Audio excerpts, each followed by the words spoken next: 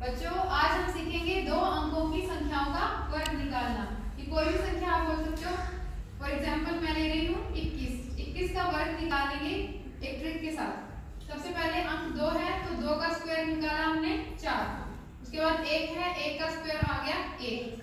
बीच में क्या करना है हमने, दो को गुना करनी है एक से और उसके बाद दो से दो एकम दो दो दुनी चार तो हमारा आंसर आ जाएगा चार सौ इकतालीस एक और एग्ज़ाम्पल लेते हैं छब्बीस। छब्बीस का स्क्वायर निकालेंगे, पहले दो का स्क्वायर निकालेंगे, चार, छह का स्क्वायर कितना होता है? छत्तीस। बीच में हमें क्या करना है? दो को गुना करनी है छह से, फिर जो आएगा उसको दो से। दो छिके, बारह बारह दूनी, चौबीस। अब इसको लिखेंगे कैसे आंसर के लिए?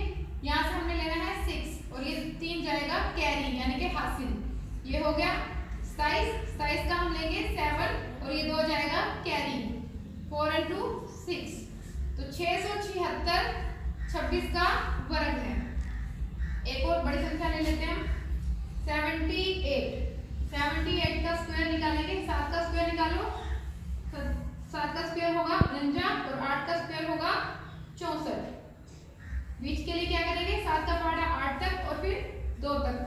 सात को आठ से गुना करेंगे और जो आएगा उसको दो से सत्तू अठे छप्पन छप्पन दुनी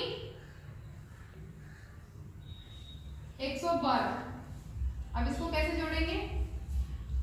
चार का चार, ये छह गया हासिल में। कितना हो गया ये? एक सौ अठारह। यहाँ पे क्या लेंगे हम? आठ। और ग्यारह चला गया हासिल में। ये कितना हो गया? नौ एक दस, चार और एक पाँच और एक छह, सात। तो ये इसका आ गया वर्ग।